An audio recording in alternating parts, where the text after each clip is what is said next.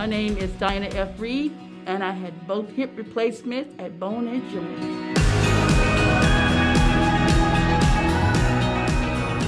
It started really bad because I couldn't even sleep at night. I was ready because I was tired of the embarrassment of walking that way. And I couldn't do anything with my grandson. That's when I decided I had to have something done.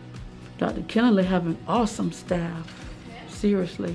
Everyone was so friendly and so accommodating.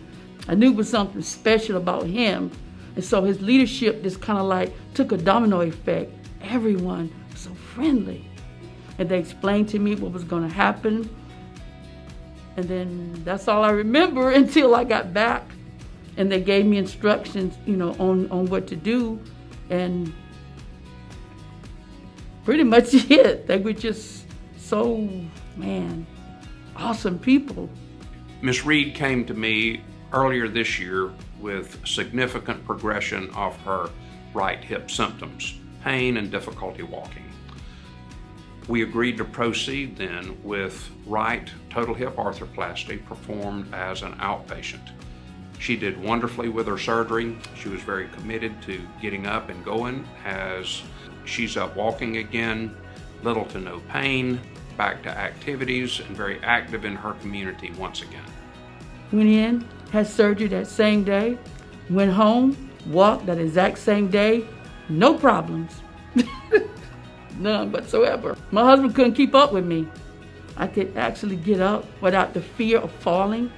I could bend over and tie my shoe. I could step in the tub and get out of the tub, you know, without even being concerned about it. At my job, I'm not embarrassed to get up if someone come in. I have two grandkids.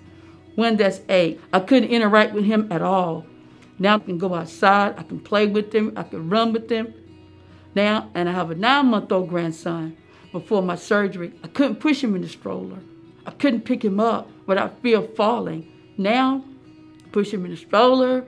I can pick him up. Uh, just interact. Be at ease. If Dr. Kennedy's doing your surgery, be rest assured. Be at ease. Pray and leave the rest up to God and Him. It works.